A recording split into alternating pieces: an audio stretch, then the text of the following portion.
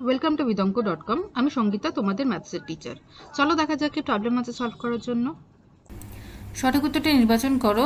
A Y plus B is equal to zero যেখানে এ ও B ধ্রুবক এবং A not is equal to zero B not is equal to zero সমীকরণের লেখচিত্রটি x অক্ষের সমান্তরাল ওয়াই অক্ষের সমান্তরাল, কোনো অক্ষের সমান্তরাল নয়, মূলবিন্দুগামী।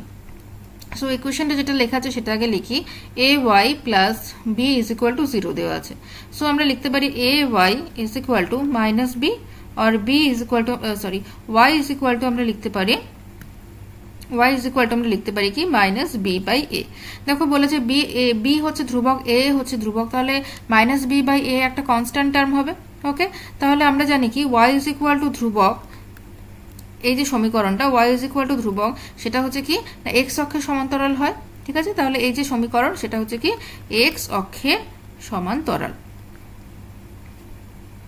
তাহলে আমাদের প্রথম অপশানটাই হচ্ছে সঠিক উত্তর okay thank you for watching Bidanka dot com অঙ্কের আরও প্রবলেম এবং সলিউশনের জন্য আমাদের ওয়েবসাইট অবশ্যই ব্রাউজ করো।